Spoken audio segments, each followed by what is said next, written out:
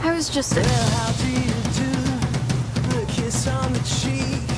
This is a lot more complicated than it looks. I first met Dex six years ago at NYU. You don't happen to have like forks or pens, do you? Oh, I do actually. He was handsome and charming. He was just perfect. Then he met my best friend, Darcy. I don't know. He's like, okay. Ask Rachel out on a date. Darcy, we're just friends. Friend that asked me out. I'm sorry, I'm gonna take off. Rach, I just want to make sure you were okay. Yeah. Hey, you never know where it might lead, right?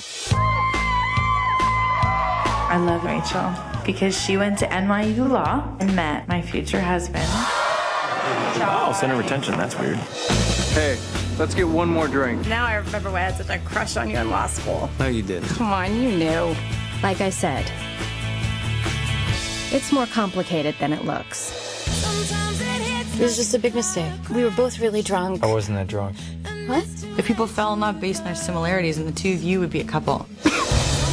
You're 30. You can't afford to be picky. Thanks, Oprah. Do you think I should marry Dex? Because I do love him. I do. I think. Why do you let her win? Because Darcy wins. She always has. You are obviously still so in love with me. Obviously. She is my best friend. You have to help me write my vows. Tell him the idea of life without him is unimaginable. Rachel, you deserve to be happy. You need to get back here right now. No. What the?